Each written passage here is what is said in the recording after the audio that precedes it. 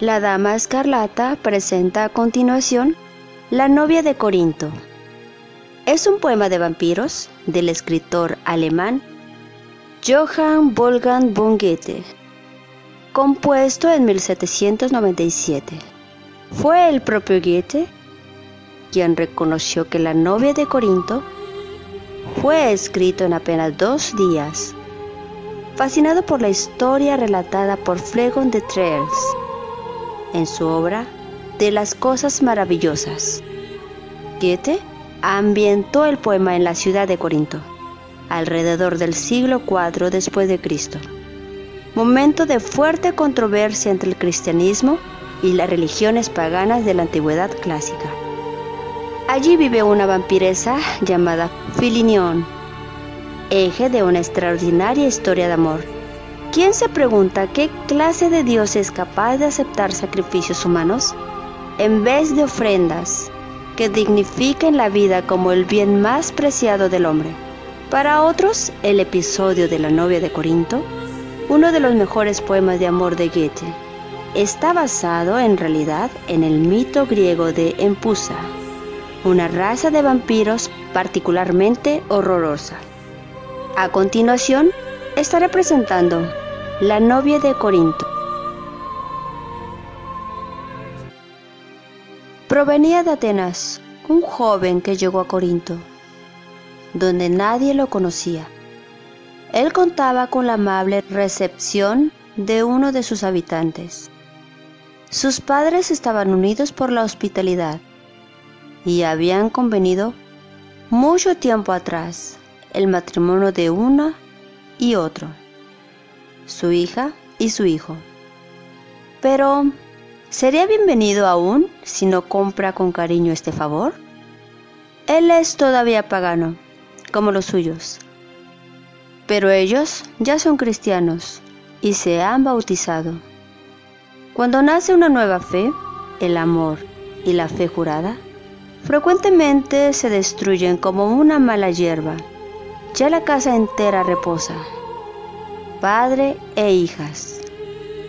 Solo la vigilia es de la madre, que recibe con diligencia al huésped. De inmediato lo conduce a la habitación más bella, previniendo sus deseos. Le presenta los vinos y manjares más preciados. Tras atenderlo, ella le desea una buena noche, pese al buen alimento servido. Él no siente deseo alguno de comer. La fatiga lo hace rechazar manjares y bebida, y vestido. Se recuesta en el lecho, casi está dormido. Cuando un huésped extraño se introduce en la recámara por la puerta abierta, al resplandor de la lámpara ve avanzar por el cuarto a una joven silenciosa y púdica cubierta de un velo y un vestido blanco. Un lazo negro y oro ciña la frente. Cuando ella lo percibe, se azora y estremece y alza blanca su mano. Soy, entonces, clama ella. ¿Tan extraña en mi propia casa? ¿Que para nada me avisa la presencia de un huésped? ¿Es así? Ah, ¿qué se me tiene encerrada en mi celdilla? Y que mientras, aquí, se me cubre de vergüenza. Pero sigue reposando en tu lecho. Me alejaré con la rapidez con que vine. Quédate, bella joven, grita él, levantándose con precipitación. He aquí los dones de Ceres, he aquí los de Baco, y he aquí, querida niña, que tú traes el amor. Estás pálida de miedo. Ven, querida. Joven, ven. Y gustaremos juntos los goces divinos. Quédate lejos de mí. Buen hombre, detente. Yo no estoy consagrada a la alegría. El último paso ahí fue dado. Por mi querida madre, vencida por la enfermedad ella hizo al mejorar el juramento de que mi juventud y mi cuerpo serían ofrecidos de inmediato al servicio del cielo. y apenas el brillante cortejo de los antiguos dioses, partió la casa, quedó en silencio. Ya no adora más que a un solo Dios, invisible en el cielo. Salvador sobre la cruz, a quien nadie aquí le ofrece en sacrificio toros o corderos, sino víctimas humanas en cantidad infinita. Y él le pregunta y reflexiona todas sus palabras. Ninguna escapa a su espíritu.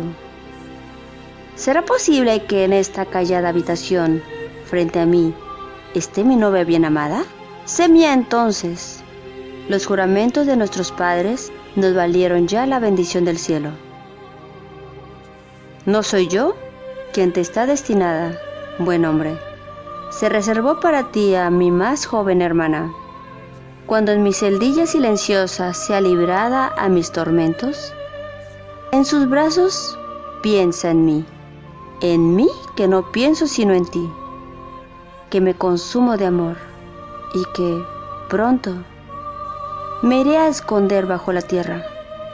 No, lo juro por esta flama, que desde ahora Himeneo hace por nosotros brillar.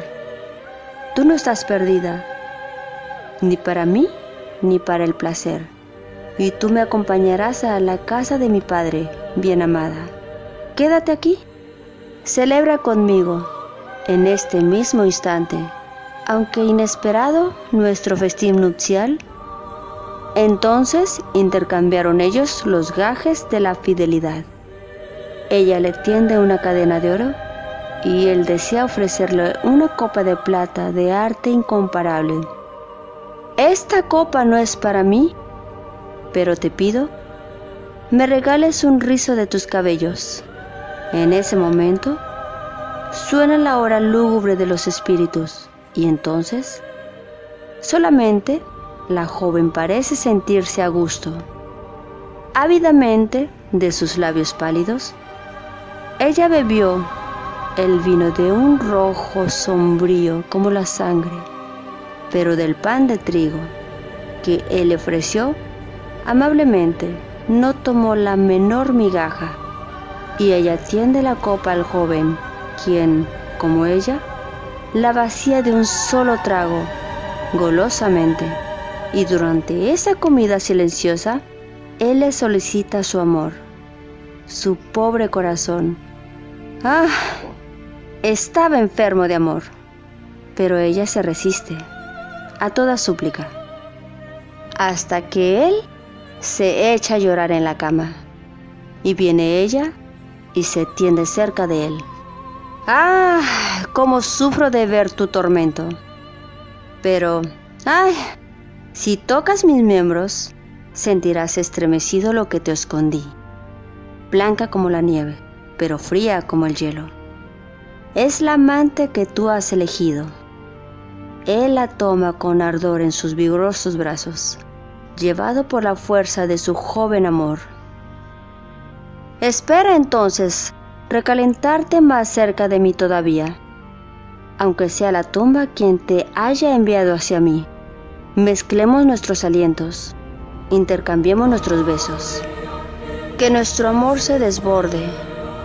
¿No te inflamas al sentir la llama que me devora? Más fuerte aún los unió el amor.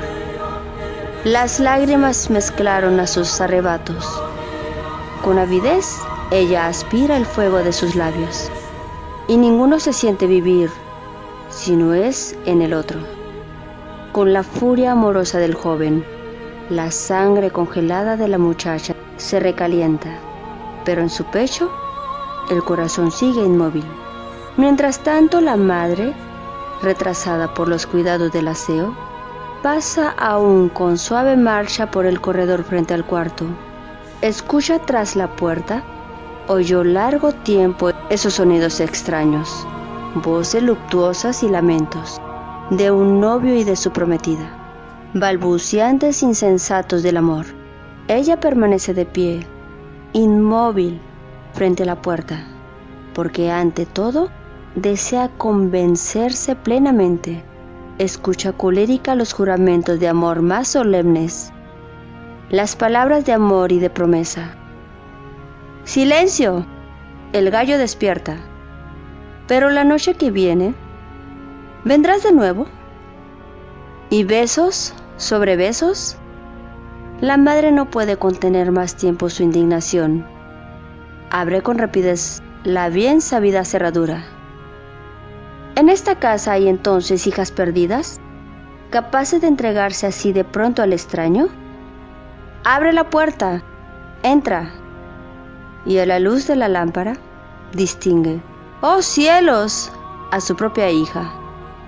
Y el joven, en el primer momento de terror, quiere cubrir con su velo a la muchacha, esconder bajo el tapiz a la bien amada. Pero ella se defiende y libera con prontitud, como con la fuerza de un espíritu, su alta estatura se yergue lentamente sobre el lecho. Madre, madre, dice con una voz sepulcral. ¿Me reprocha entonces esta noche tan bella? ¿Me expulsa usted de esta cama cálida? ¿Solo desperté para entregarme a la desesperación? ¿Ya no le satisface? ¿En buena hora haberme amortejado en un sudario y depositado en la tumba? pero una ley que me es propia me impulsa. Fuera de la fosa estrecha al duro manto de la tierra. Los cantos almodeados por tus sacerdotes y su bendición no tienen efecto alguno. El agua y la sal son incapaces de extinguir los ardores juveniles. Y ¡ah! La tierra no enfría el amor. Este joven me fue prometido cuando en pie estaba todavía el templo de la amable Venus. Madre, y usted faltó a su promesa, ligándose por un juramento bárbaro y sin valor, porque ningún dios acogerá a una madre que jura rehusar la mano de su hija. Una fuerza me arroja afuera de la fosa, para buscar todavía los bienes de los que me despojaron, para amar aún al esposo ya perdido y para aspirar la sangre de su corazón. Y cuando éste muera, me pondré en busca de otros y mis jóvenes amantes serán víctimas de mi deseo furioso. Bello joven, tus días están contados, morirás de languidez. En este sitio te regalé mi collar. Yo me llevo el rizo de tus cabellos. Míralo bien. Mañana tus cabellos estarán grises solamente en la tumba renegrecerán. Escuche ahora, madre, mi última plegaria. Haga levantar una hoguera, abra la estrecha tumba donde me ahogó y dé reposo a los amantes, entregándolos al fuego cuando la chispa salte, cuando ardan las cenizas. Nos elevaremos hacia los antiguos dioses. un poema a petición de uno de nuestros suscriptores de este canal. Espero lo disfrutes. Alexander Balmont. Si desean realizar alguna recomendación, pueden dejar en la caja de comentarios. Estaré al pendiente para poder complacerles para que sigamos disfrutando de este canal. Y aquí finalizamos este poema. Espero les haya agradado. Se despide su amiga la Dama Escarlata. No olvide darles pulgar arriba y suscribirse a mi canal.